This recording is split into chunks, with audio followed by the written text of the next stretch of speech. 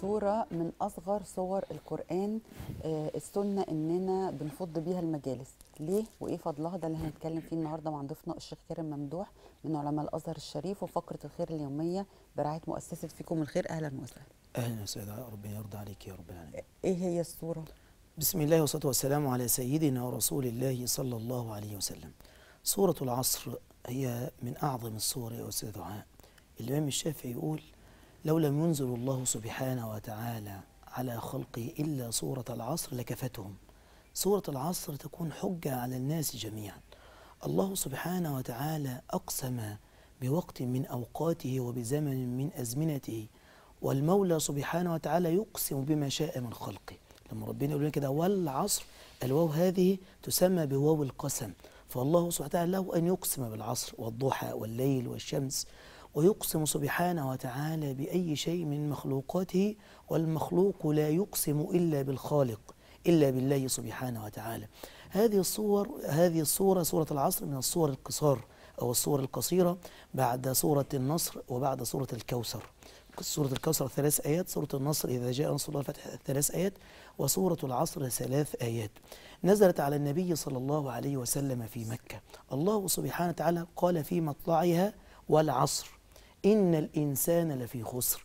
أي يقسم الله سبحانه وتعالى بهذا الدهر وهذا الزمان أن جميع الناس في خسران مبين إلا إلا من يا رب العالمين إلا الذين آمنوا وعملوا الصالحات وتواصوا بالحق وتواصوا بالصبر. في مجموعة كده معينة ربنا سبحانه وتعالى اجتباهم وربنا اصطفاهم وربنا ميزهم عن دون وعن سائر الناس. الناس دي اللي ربنا سبحانه وتعالى بيقول لك عليها إلا الذين آمنوا آمنوا بالله سبحانه وتعالى ثم أتبعوا مع الإيمان العمل فلا يصح الإيمان بدون إيه؟ بدون عمل ما ينفعش إن أنا أقول لا إله إلا الله محمد رسول الله وأؤمن بالله وأؤمن برسول الله صلى الله عليه وسلم ثم أترك الصلاة والصيام وجميع العبادات ولا أأتمر بما أمرني الله سبحانه وتعالى به ولا أنتهي عما نهاني الله عنه ولكن إلا الذين آمنوا وعملوا إيه؟ وعملوا الصالحات ثم وضح الله سبحانه وتعالى في كمالة هذه الصورة أنه لا ينبغي للإنسان أن يعيش لنفسه فقط لا. بقول لك وتواصوا بالحق أي أمروا غيرهم بهذا المعروف ودلوهم على هذا الحق وعلى هذا الخبر أو على هذا الخير ثم بعد ذلك وتواصوا بالصبر. تحلوا بالأخلاق الحميدة تحلوا بكل شيء رأوه أن يرضوا عنه وأن يعلموا أن الذي قسم الأرزاق هو الله وأن الذي قدر هذا هو الله وأن الوهاب وأن العاطي وأن المانع هو الله فرضوا عن الله فرضي الله سبحانه وتعالى إيه؟ فرضي الله عنهم. وكان من هدي الصحابة رضو الصحابة رضوان الله عليهم وأرضاهم إن هم كانوا دايما بعد كل مجلس كده يقرأوا ويودعوا بعض بهذه الإيه؟ الصورة. يوصوا بعض. بعد ما كده يخلصوا كان أحدهم يقرأ على أخيه وهو يقرأ عليه. اقرأ معاه كده والعصر ويذكره خلي بالك. ده ربنا أقسم بهذا الزمان وربنا أقسم بهذا الوقت إن تستعن بالله وتحلى بالإيمان والعمل ثم بعد ذلك أمر بالخير والمعروف وانتهي عما نهاك الله عنه. طيب نشوف بقى أول تقرير خير في حلقتنا النهاردة ومؤسسة فيكم الخير.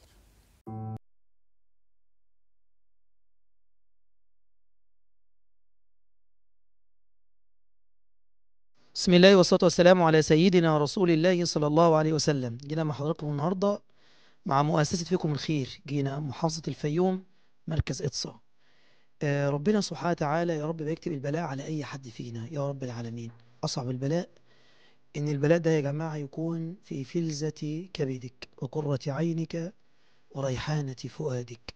إن البلاء ده يكون في أحب الناس لقلبك اللي هو ابنك أو بنتك. ربنا سبحانه وتعالى ابتلى ست أم يوسف في بنتها إسراء 22 سنة. عندها للأسف ضمور في المخ وعندها مشاكل تبول للأسف لا إرادي عندها مشاكل كتيرة جدا ربنا يعافينا. أنا لما شفت التقرير يا جماعة للأسف لقيت تقرير الدكاترة تقرير صعب جدا جدا. حالة الآنسة إسراء فارس يوسف علي. تقرير الطب يا جماعة بيوصف حالة البنت صعب جدا جدا. عندها اضطراب في للأسف في المخ وعندها مشاكل وعندها ضمور وعندها تبول لا إرادي عندها مشاكل صحية مزمنة وصعبة جدا. للأسف بتاخد بتلبس بامبرز يعني ب 900 جنيه في الشهر بتاخد علاج ب 2500 جنيه في الشهر. بتبقى صعب ربنا ما يكتبه علينا يا رب ولا يكتبه على أولادنا ولا يكتبه على حد خالص يا جماعة. بجد لما الابتلاء يكون في أحب الناس لقلبك يبقى صعب. وأصعب الحاجة لما ربنا يجمع عليك بلاءين بلاء المرض وبلاء العوز والفقر. مرض ومفيش حتى إن أنا أقدر أصرف أصرف على هذا المرض يا جماعة. ربنا يا رب يعافينا ويعافي أولادنا. جينا النهارده يا جماعة لست أم يوسف أم إسراء بنت المريضة العيانة. تعالوا مع حضراتكم نشوف ظروفهم إيه ونساعدهم إزاي. السلام عليكم. عليكم السلام. إزيك يا حاجة أم يوسف؟ عاملة إيه؟ إزيك يا شيخ؟ حاجة أم يوسف إحنا مؤسسة الخير. جينا النهارده إن شاء الله بإذن الله ربنا يجعلنا مفتاح للخير. جينا لما شفنا بنتك وشفنا التقارير والأشعة والتحاليل بجد ابتلاء صعب. ولكن ده يعني قضاء ربنا. نرضى به ونقول الحمد لله. احكي لنا ظروفك وظروف بنتك إيه عشان الناس تقدر تساعدك إن شاء الله. والله أنا جوزي حاليا جاله غضروف في ظهره. طبعا قعد عمل عملية الغضروف ما قدرش بعد كده يشتغل. حاليا بيشتغل حاجات بسيطة.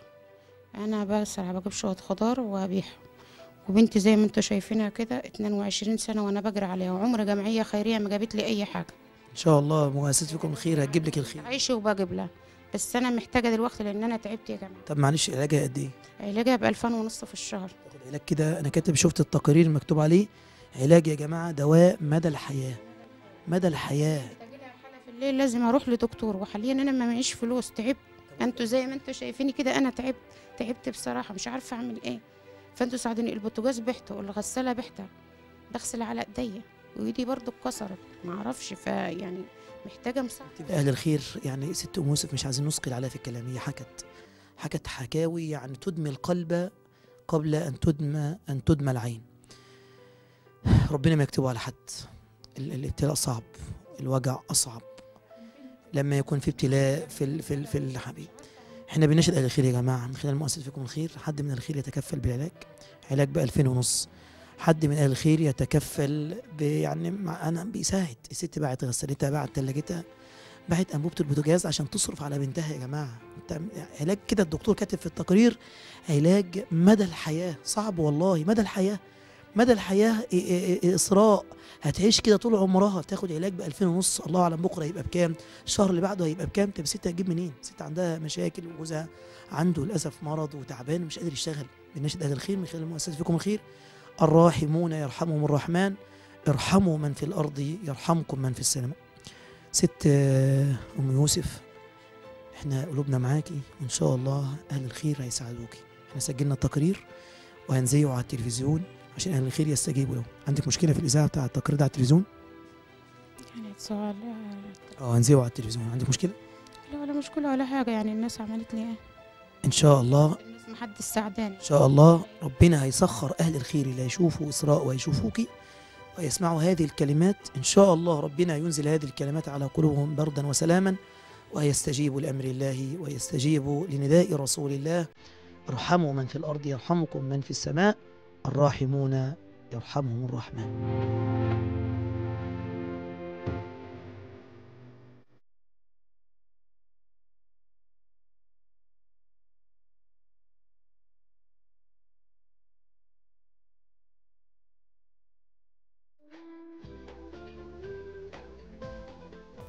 تعليقك يا شيخ على حاله ام عبد الله تعليقي على الست أم عبد الله يا أستاذة دعاء إن إحنا بقدر الإمكان نقف معاها لله اولا استجابة لأمر الله.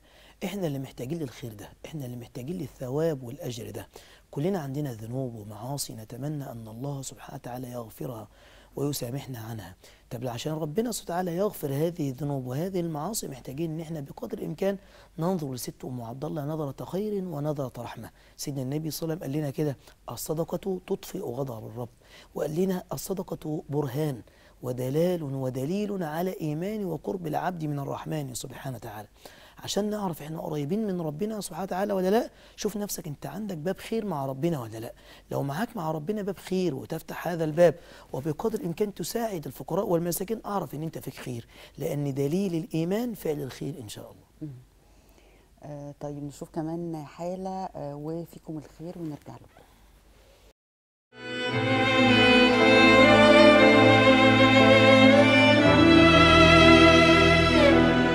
بسم الله والصلاة والسلام على سيدنا رسول الله صلى الله عليه وسلم.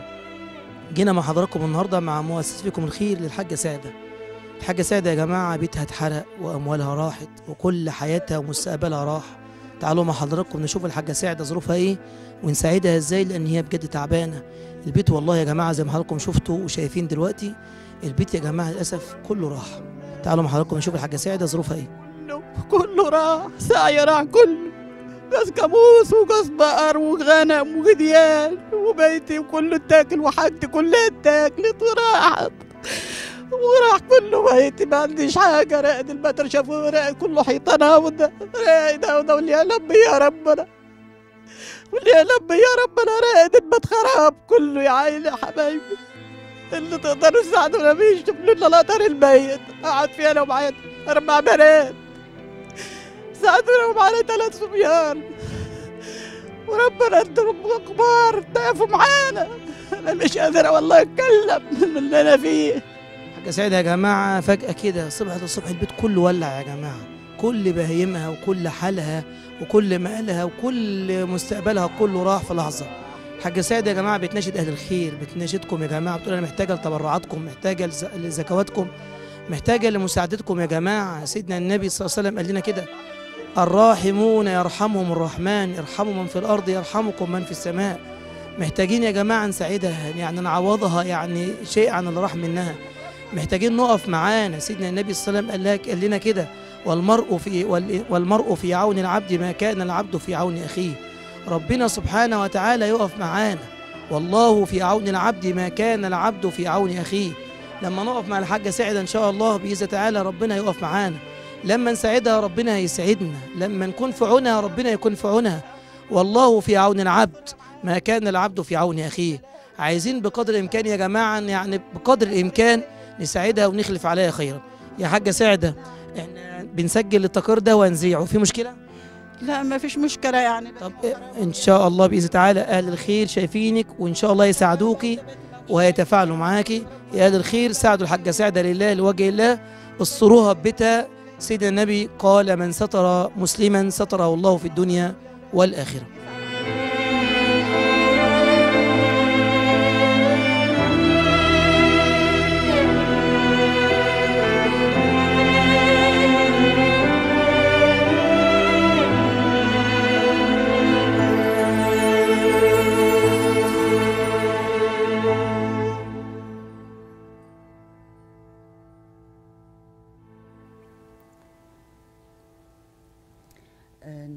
شفنا طبعا حالة سعدة وهي من الحالات الصعبة وزي ما بقول لكم كل التقارير الحقيقة والحالات كلهم أصعب آه، من بعض يعني مش محتاجين حتى كلام. الحاجة سادة محتاجة مننا بس نتذكر حديث سيدنا النبي صلى الله عليه وسلم. لما قال لنا كده النبي صلى الله عليه وسلم من الإنسان في ظل صدقته يوم القيامة. يوم القيامة يوم الهول والفزع وبقدر الإمكان الإنسان محتاج لحسنة واحدة ربنا يجعل هذه الصدقة وفعل الخير اللي أنت عملته في الدنيا سواء للحاجة سعدة أو غيرها من حالات مؤسسة فيكم الخير ربنا يجعله كالغمامة وكالسحابة تظلك من حر الشمس ومن هول الموقف. المرء في ظل صدقته يوم القيامة. وسيدنا النبي يقول لنا كده صلى الله عليه وسلم خير الناس أنفعهم للناس. اللي هيساعد الناس وهيقف مع الناس وهيتفاعل مع الناس فإحنا أهل الخير من خلال مؤسسة فيكم الخير إن هم ينظروا إلى الست سعدة نظرة خير ورحمة إن شاء الله. إن شاء الله. آه، نشوف كمان آه، تقرير الحاجة نادية ونرجع لكم.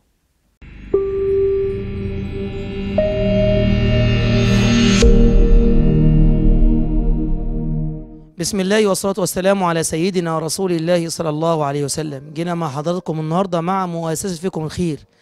جينا للحاجة نادية ست نادية ست الكبيرة ست المسنة ست المريضة المشلولة الست اللي قاعدة يا جماعة وخلفت ابن واحد وربنا سبحانه وتعالى أصاب به أصبح ابن معاق ما عندهاش أي دخل قاعدة في بيت بالإيجار. ابنها التعبان ده عنده أربع أولاد ولا هو بيشتغل مسكين ولا قادر يشتغل ولا هي عندها أي دخل. تعالوا مع حضراتكم نسمع نساعدها إزاي ونسعدها إزاي؟ وهي محتاجة إيه؟ ازيك يا حاجة نادية عاملة إيه؟ ألف سلامة لك يا بي ألف سلامة لك. والله العظيم ما حلتي حاجة والله العظيم ولا معه حاجة ولا ضايل حاجة. نشتغل ناكل.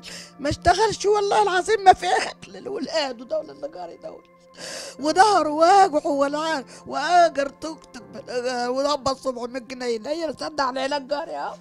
أهو العلاج أهو. العلاج جاري أهو. والبديده مأجرينه. بألف في الشهر. ندفع بقى لنا أربع أشهر دلوقتي مكسور عليا الإيجار.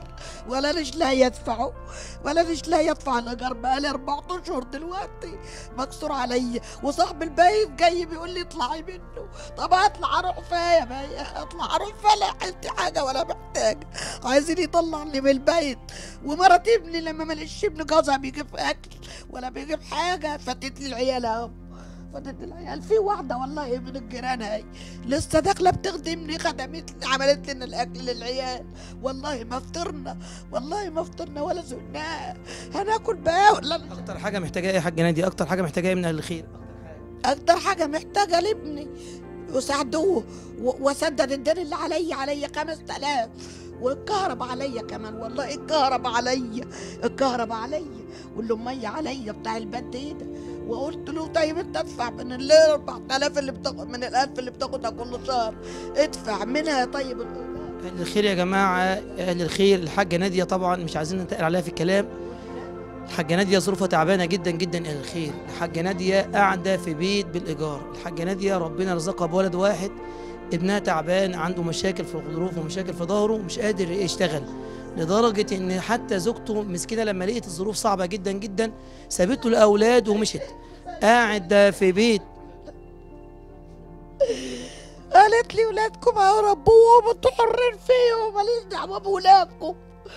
وطلعت راحت بيت أبوها وسابتني على كده. وأنا قاعدة باللي عطيه لي ربنا ربنا رزقني بواحدة من الجيران تقضي لي المصلحة عشان ماني مش بنناشد أهل الخير يا جماعة. معلش حد من أهل الخير يتكفل بالحاجة ناديه حد من أهل الخير يسد عنها الدين؟ حد من أهل الخير يعمل لها حتى ولو مشروع؟ بنناشد أهل الخير يا جماعة سيدنا النبي صلى الله عليه وسلم قال لنا الراحمون يرحمهم الرحمن ارحموا من في الأرض يرحمكم من في السماء. عايزين نرحم دمعات الست الحاجة نادية. عايزين بقدر الإمكان عياطها ودموعها علينا يعني للأسف يعني شديدة جدا جدا. بجد الحالة صعبة ومحتاجة مساعدة محتاجة مننا نتفاعل معها. يا ريت يا ريت حالته سليم جزا الله كل من ساهم إن شاء الله وساعد معانا. مع مؤسسه فيكم الخير هننزل على أرض الواقع. ننزل هذا الخير لمستحقيه إن شاء الله.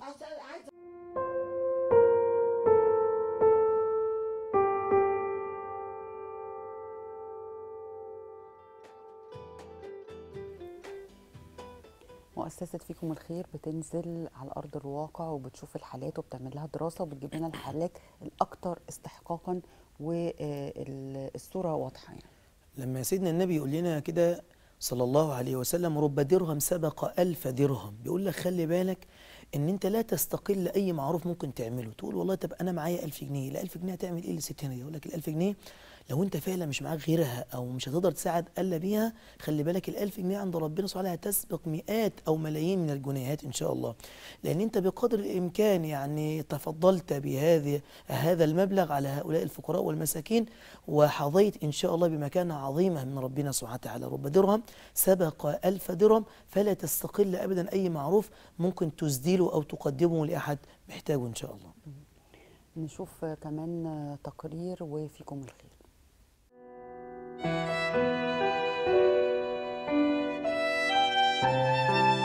بسم الله والصلاة والسلام على سيدنا ورسول الله صلى الله عليه وسلم جينا مع حضراتكم النهاردة مع مؤسسة فيكم الخير جينا النهاردة للحاجة والست أمال الست أمال الست الأرملة اللي عندها أيتام بتربيهم ست أمال يا جماعة ربنا ابتلاها في نفسها بمرض السرطان ربنا يعافينا جميعا يا رب ويعافي جميع المستمعين وجميع المشاهدين ربنا أيضا ابتلاها بنتها البنت العسولة الأمورة مصابة يا جماعة عندها معلش يعني مشكلة ذهنية عقلية وعندها أيتام ومفيش أي دخل شهري عندها ولا أي مصدر رزق عندها. إحنا بنناشد أهل الخير من خلال مؤسسة فيكم الخير إن إحنا ننظر لست آمال ست أم الأيتام الست الأرملة الست المصابة في جسمها ومصابة ببنتها ومصابة أيضا في أولادها إن إحنا ننظر إليها نظرة خير. تعالوا مع حضراتكم نسمع هي محتاجة إيه ونساعدها إزاي. السلام عليكم. السلام. ازيك يا ست كل عاملة إيه؟ سلمت الله. قولي يا حاجة لأهلك وإخواتك اللي سامعينك من خلال مؤسسكم الخير وعايزين يساعدوكي. أنت محتاجة إيه وظروفك إيه؟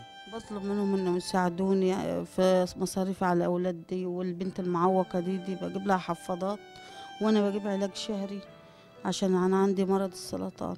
ربنا يعافينا يا رب ويعافيك يا رب. ومعايا عيل برضه. عندكش طيب أي عندكم كهرباء زيادة برضه. كهرباء أيوة زيادة. مفيش أي مصدر رزق عندك لا مفيش والله مفيش إلا- مفيش أيوة. أكتر حاجة محتاجاها من أهل الخير إيه؟ إنهم يقفوا معانا ويساعدونا. البيت عن زي ما أنتم شايفين مشرخ من كل مكان وبيجيبوا مية علينا في النطر في النطر لما بتنطر. والبنت دي بصرف بجيب لها حفاضات بشتري لها حفاضات. يا أهل الخير ست أمال ست أرملة عندها أيتام. وسيدنا النبي صلى الله عليه وسلم أوصانا بهؤلاء خيرا. سيدنا النبي أوصانا بالأرامل وأوصانا بالمساكين والضعفاء بل جعل الله سبحانه وتعالى الرحمة تتنزل علينا بسبب إن إحنا نساعد هؤلاء.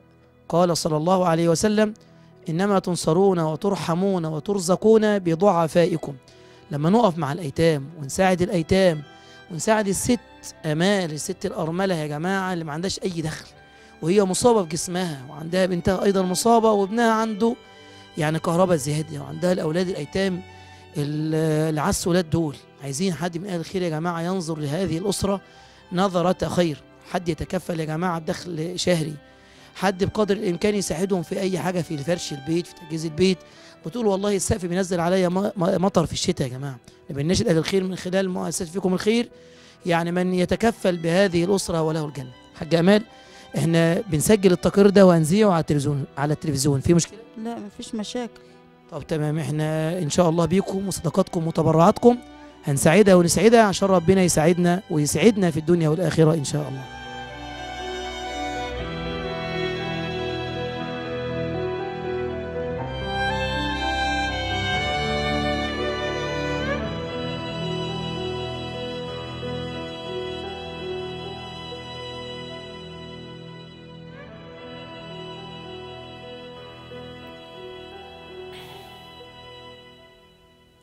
شفنا طبعا الست آمال وحالتها وحالة ولادها وحالة العيلة كلها والبيت كله صعبة. البيت صعب وست آمال للأسف يعني مبتلية في نفسها. ربنا يعافينا يا رب وبنتها. فإحنا بنقول بقدر الإمكان سيدنا النبي بيقول لنا كده صنائع المعروف تقي مصارع السوء. لما نقف مع ست آمال ونساعدها ربنا سبحانه وتعالى يسلمنا ويحفظنا ويديم علينا نعمة الصحة والمعافاة. خلي بال حضرتك الصحة كنز. كنز والله لا يشعر بهذه النعمة إلا من حرم وسلب من هذه النعمة. عشان ربنا يديم علينا هذه النعم محتاجين إحنا نساعد غيرنا إن شاء الله. هنطلع فاصل ونرجع نكمل حلقتنا. خليكم معانا.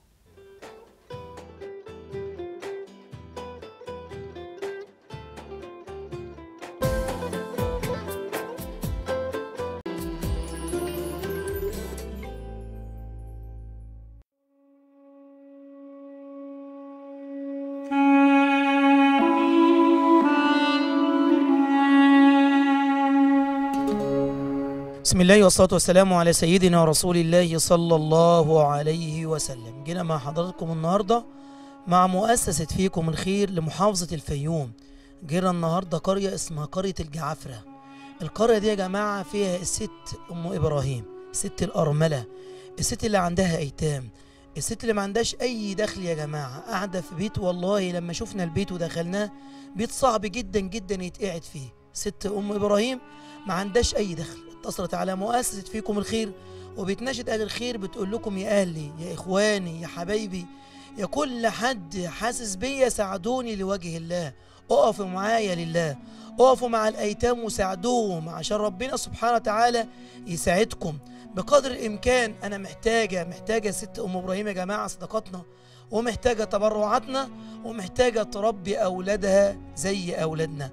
تعالوا مع حضراتكم نشوف الحاجة أم إبراهيم إيه ظروفها وإزاي نساعدها. السلام عليكم. السلام عليكم ورحمة الله وبركاته. قولي يا حاجة أم إبراهيم لأهلك وإخواتك اللي سامعينك دلوقتي وشايفينك. قولي لهم إيه ظروفك واللي سامعينك أهلك وإخواتك محدش غريب. قولي؟ أنا بيتي والله على إزالة وصعب جدا إن أنا أقعد فيه. وببقى خايفة ألاقيها عليا في أي وقت. جت عليا نطرة جديدة بقت خايفة بقت قاعدة عند الجيران جنبينا. وما باكلش إلا حسنة من عند الله. الناس بتجيب لي حسنة على الباب اللي بيطبخ بيجيب لي أكل اللي بيعمل أي حاجة حلوة بيجيبها للعيال. معايا ثلاثة أولاد محتاجة إن أنا أساعدهم وحتى اللبس بيجي من بره ديون عليا كتيرة في الدكاكين. بدل الدكان ثلاثة بجيب منه ديون للعيال بجيب أكل بجيب شرب ومش لاقي. والناس بتيجي على الباب تطالبني على الدين اللي عندي. بصراحة عندنا آه، أخواته كبار ولاد ولاد أبوهم ما, بيساعدونيش في أي حاجة. ما حدش بيساعدني في فلوس ولا حد بيساعدني في حاجة خالص. ولا عندي دخل ولا عندي أي حاجة. والله العظيم اللي علم ربنا بالظروف. مات بقاله قد إيه يا أم إبراهيم؟ بقاله ثلاث سنين. والأولاد؟ و- وتوفى عنده 85 سنة. رحمة الله عليه. طب الأولاد دول يا أم إبراهيم يعني ظروفهم إزاي؟ بياكلوا إزاي؟ ويشربوا إزاي؟ ويتعلموا إزاي؟ عايشين على رزق من عند الله من الجيران. واحدة جارتنا نخبط علينا تدينا حاجة تقول وكلوا عيال تدي- يجيبوا لنا يخبزوا عشان يجيبوا لنا. يطبخوا يجيبوا لنا طبيخ. يعملوا لحمة عندهم يجيبوا لنا مرة لحمة نية مرة لحمة طيبة. ونعمل له عيال والله العظيم أنا بقالي 30 يوم ما عندي رغيف عاش في البيت. أنا بجيب عيش شقق من الدكاكين أوكله مش لاقي حد يدينا 10 كيلو دقيقة غميزها ما برضاش أقول لحد من الجيران عشان ما يضحكوش علينا. طب يا جماعة. فرش ما عنديش فرش خالص ولا عندي اوضه نوم ولا عندي أي حاجة ما عنديش إلا هم التلات كنبات دول. بنام العيال على الأرض في الصيف وفي الشتاء بقى أعمل لهم الكنب تنسيري يا جماعة أنتوا متخيلين؟ يعني حتى لو مصاريف بس للعيال في شهري وخلاص على كده. مش محتاجة بس إلا مساعدة مصاريف. عايز العيل لما يقول لي عايز جنيه يا ماما أقول له خد يا حبيبي. أنا والله بقى لي أسبوع يقول لي عايز جنيه أقول له حاضر يا ابني ربنا يرزقني وهتجيلك متخيلين يا جماعة كم الأسى وكم الهم وكم الحزن اللي على وش الحاجة أم إبراهيم. الدمعات أم إبراهيم يا جماعة غالية علينا. أم إبراهيم النهارده لما تشكي حالها يا جماعة تقول والله أنا بقالي 30 يوم ما فيش رغيف عايش في البيت. يعني بتتكلموا إزاي يا جماعة؟ الاكل والشرب مش موجود. أم إبراهيم معاها ثلاث أولاد. بتناشد أهل الخير يا جماعة اللي شايفينها وبتناشد أهل الخير اللي سامعينها. بتناشد إخوانها وأهلها وحبايبها في كل مكان. بتناشدكم بتقول لكم أنا أرملة يا جماعة بتقول لكم أنا معايا أيتام. سيدنا النبي يقول لنا كده أنا وكافه اليتيم في الجنة كهاتين. اللي هيكفل الحاجة أم إبراهيم وهيكفل أولاد أم إبراهيم في الجنة مع سيدنا النبي صلى الله عليه وسلم. اللي هيتصل على مؤسسة فيكم الخير ويتكفل بدخل شهر لست أم إبراهيم في الجنة مع سيدنا النبي صلى الله عليه وسلم. اللي هيرسم الفرح والسرور على وش ام إبراهيم وعلى وش أولادها الجمال دولت في الجنة مع سيدنا النبي صلى الله عليه وسلم. إحنا بنناشد كل اللي سامعيننا وشايفيننا من خلال مؤسسة فيكم الخير. لا تنسوا الحاجة أم إبراهيم من صدقاتكم وتبرعاتكم. بقدر الإمكان يا جماعة ما ينفعش تقعد يا جماعة مش لاقي أكل ولا شرب ولا أي حتى تعلم أولادها ولا تكشف عليهم. وإحنا نتغافل ونتناسى. لازم نساعدها ونقف معاها عشان سيدنا النبي صلى الله عليه وسلم علمنا كده وقال لنا صلى الله عليه وسلم الراحمون يرحمهم الرحمن ارحموا من في الأرض يرحمكم من في السماء.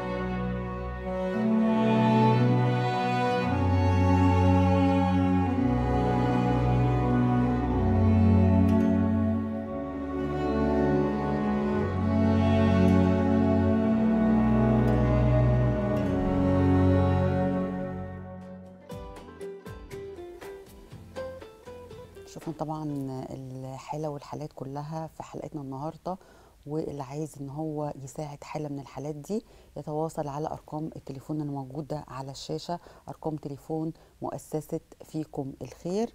وإحنا بعد شوية هنشوف إنجاز من آه إنجازات المؤسسة والحقيقة هم على طول آه يعني بنحط التقرير وبعد كده بيجي حد من المتبرعين بيفرح ويساعد التقرير فبينزلوا يصوروا على طول وبيعملوا الإنجاز وبنذيعه على طول في إنجازات متتالية وأنا نفسي نزلت معاهم وشفت بنفسي إزاي إن هم بينزلوا وبيشتغلوا على الأرض ربنا يكرم كل حد بيساعد وبيفرح وبيغير حالة الناس اللي محتاجة. إحنا يا سيد عقل محتاجين والله محتاجين هنساعد الناس. لأن إحنا عندنا فعلا عيوب وذنوب كتيرة جدا جدا. لما ست أم إبراهيم تاجي ست الأرملة بتقول لنا والله بيتي ما فيهوش رغيف عيش وبقدر الامكان محتاجة مساعدة محتاجة مننا نظرة رحمة محتاجة حد بقدر الامكان كده يعني بقدر الامكان يساعدها ويسعدها ويقف معاها احتسابا هذا الأجر وهذا الثواب من الله سبحانه وتعالى. يبقى فعلا إحنا اللي محتاجين للصدقة ومحتاجين للخير ده. أنا بشكرك في نهاية حلقتنا وبشكر مشاهدينا وأسيبكم آخر تقرير وإنجاز من إنجازات مؤسسة فيكم الخير.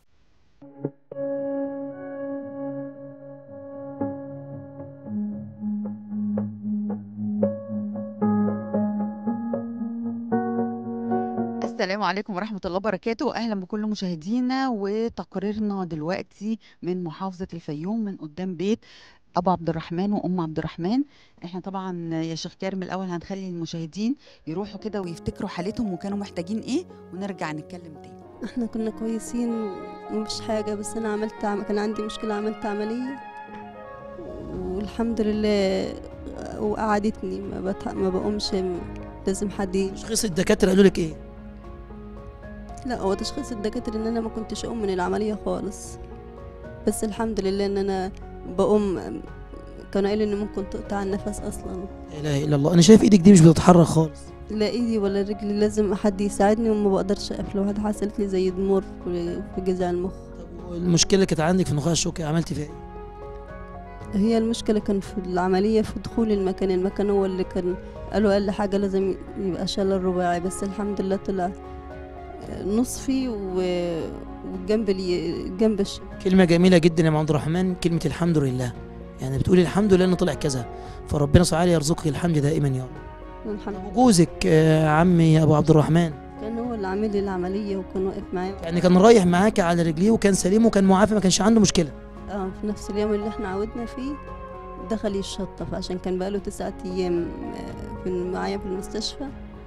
و والسخان سرب على على عمله زي ضمور شفنا طبعا حالتهم واحتياجهم وهم كانوا محتاجين البيت يسترهم والحمد لله ربنا آه، كريم. في آه، حد اتبرع لهم بالأرض بنص إيراد وحد اتبرع لهم ببنى البيت ربنا يكرمهم ويتقبل منهم. وجينا النهارده أنا والشيخ كارم علشان نفرح ونفرحهم ونفرحكم معانا بجد من أفضل اللقاءات اللي إحنا عملناها وشفناها النهارده إن إحنا نسعد أسرة أبو عبد الرحمن وأم عبد الرحمن وأستاذ إن شاء الله تبارك الله اللهم بارك يا رب. ربنا يجازي كل الخير يعني اللي ساهم وساعد معانا واتصل على مصطفىكم الخير. وقدرنا اللهم لك الحمد نبني البيت زي ما شفنا إن شاء الله بإذن تعالى. والتقرير التاني إن شاء الله هنجيب البيت بعد ما نكمله إن شاء الله بإذن تعالى. إحنا بنقول لكل اللي ساهم وتبرع معانا ربنا يجازيك خير الجزاء وربنا يخلف لك خيرا في صحتك ومالك وعافيتك. وسيدنا النبي صلى الله عليه وسلم قال لنا إن أفضل الأعمال سرور تدخله على قلب مسلم فربنا سبحانه وتعالى يجعلني وإياك والمشاهدين والمتابعين جميعا من هؤلاء الذين يدخلون السرور والفرح على قلوب الناس جميعا. إحنا أهو النهارده البيت بيتبني في كده نص مرحلة تقريبا أو أكتر وفاضل جزء بسيط وإن شاء الله أكيد هنصور لكم تاني بعد ما البيت يتبني ويتسقف. وتعالى بقى يا شيخ كارم آه، نشوف أم عبد الرحمن وأبو عبد الرحمن مع مشاهدين. إحنا طبعا موجودين بقى النهارده مع أم عبد الرحمن آه، علشان آه، جينا يا أم عبد الرحمن آه، نفرح كده معاكي وشفنا البيت. يعني الحمد لله تقريبا نصه كده طلع. أيوة ألف شكر ليكم.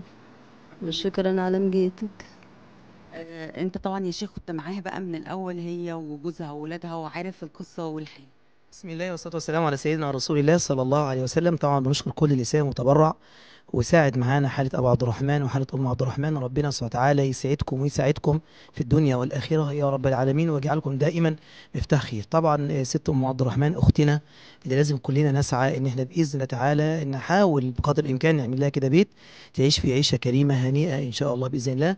وإن شاء الله بإذن الله تعالى يا عبد الرحمن إحنا معاك إن شاء الله لحد ما نتم البيت على خير إن شاء الله. وبقدر الإمكان نوصل لك فيه إن شاء الله وصلات كهرباء ووصلات مية ونجيب لك فيه بعض الفرش إن شاء الله بإذن الله. بس أنا عايزك كده تفرحي إن شاء الله واملك في الله كبير وربنا سبحانه وتعالى هو العاطي ربنا هو الوهاب. ربنا سبحانه وتعالى اللي هينعم عليك إن شاء الله بالرضا بإذن الله. وربنا يجعلنا دائما مفتاح لكل خير ونشكر طبعا باسم مؤسسة فيكم الخير. نشكر الأستاذة دعاء عامر الإعلامية الكبيرة يعني العظيمة. ربنا يجعلها مفتاح لكل خير يا رب. نزلت بنفسها النهارده شاركتنا فرحة أم عبد الرحمن وأبو عبد الرحمن. أسأل الله أن يتقبل خطواتها يا رب العالمين وأن يجعلها في ميزان حسناتها. وأسأل الله لكل الإنسان تبرع لحاله أم عبد الرحمن وعبد الرحمن. إن ربنا سبحانه وتعالى يخلف عليه خيرا في صحته وماله وعافيته وولده. اللهم آمين. ألف سلامة عليك يا حبيبتي وألف سلامة على جوزك وألف ألف مبروك على البيت. إن شاء الله تتهني انت وجوزك وولادك فيه. ربنا يخليك ألف شكر نشكر ليك بقى المتبرع اللي ساهم معانا نقول له شكرا جزاك الله خيرا. جزاكم الله خيرا هو وأنتوا ألف شكر ليك آه، رزق من عند ربنا حبيبتي ربنا يكرمك. ربنا يخليك ألف شكر ليك. شكرا يا أستاذ ربنا يبارك فيكم.